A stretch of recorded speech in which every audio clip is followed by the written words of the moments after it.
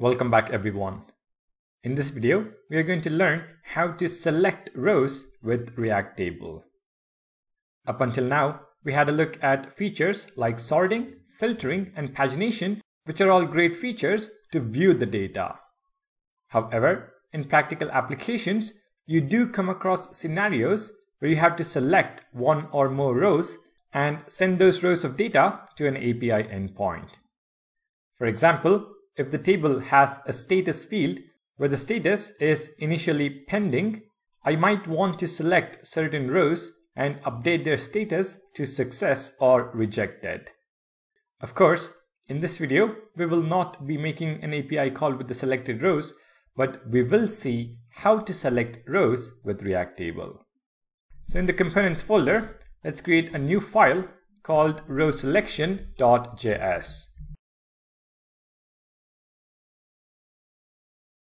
Copy the code from basic table and rename the component to row selection. For this example, we only need 10 rows. So in the component, I'm going to slice the first 10 rows. So const first page rows is equal to rows dot slice 0 comma 10. And then in the table body, we are going to map over this first page rows. So instead of rows.map, first page rows.map. If I include this component in app component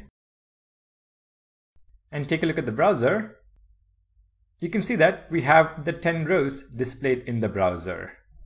Let's go back to VS Code and implement the row selection functionality. Now let me tell you, there are a few parts to this feature and it's not as straightforward as the others. But once you do understand, it all just makes sense.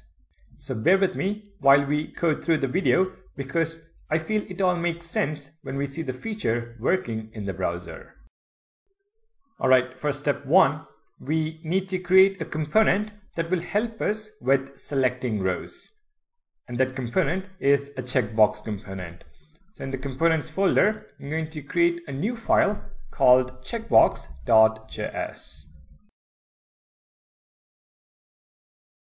Now this component is not your typical input checkbox HTML tag. It's a checkbox that caters to an indeterminate state in the React table. For now, I'm going to copy paste this code from the React table examples. As you can see, it's not the most straightforward checkbox to understand, so I simply want you to understand that we have created a checkbox component which accepts some props and applies them on the native input checkbox element. I'm not going to dive deeper into this, but like I mentioned, you can get this component code from the React table docs. So this is step one, creating a checkbox component for row selection. For step two, we head back to our row selection component. We begin by importing use row select from React table and passing it into the use table hook. So the second argument, use row select. This will give us a property that helps keep track of the selected rows. So from the table instance, destructure selected flat rows. We will see this in a bit, but selected flat rows gives you a flat array of rows that are currently selected in your table. Next, for step 3, we need to tie the checkbox component we have created with the table component. We do that by programmatically adding in a column at the beginning of the table where each row in the column is the checkbox component that we have defined. So after the use row select argument to use table, we are going to define an arrow function as argument. This function gets all the table hooks as an argument. What we want to do is add a column to the table. For that, we use the visible columns property on hooks. So within the function body, hooks dot visible columns dot push. Visible columns is what defines the columns you see in the browser. The push function here accepts a function as argument. This function in turn receives all the columns as argument and returns an array of columns. Here we define our selection column. Each column, as we know, is an object.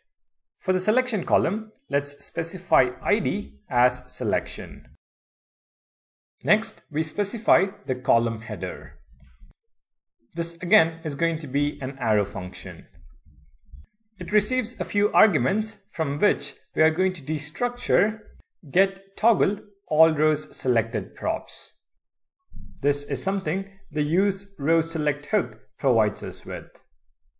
For the JSX, we simply return the checkbox component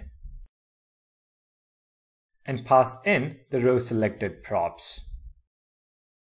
So this is the column header.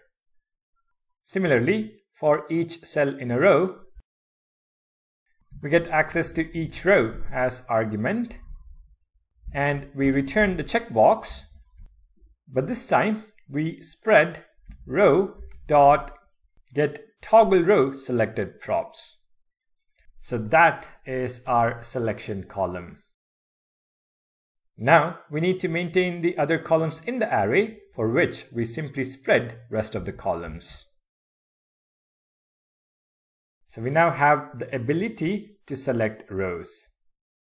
To verify the selection, I'm simply going to stringify the selected flat rows in the UI. So after the table component,